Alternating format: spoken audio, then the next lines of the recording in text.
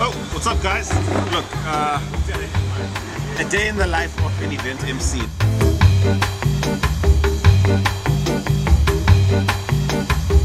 Okay. So you guys are going to be hanging with me tonight. You'll be following this broadcaster.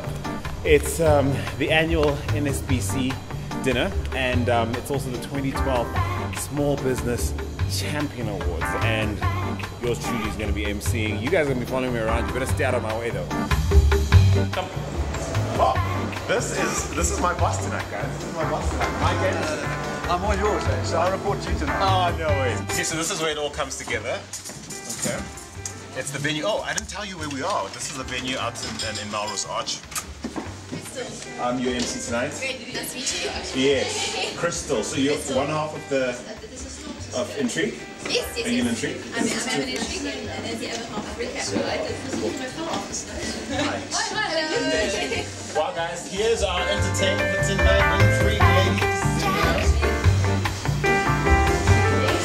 Okay, so you can see the activity behind me is the venue getting prepared for the awesomeness that's going to happen tonight. So I'm just going over my classes, just making sure everything's in the right order, um, getting used to the venue.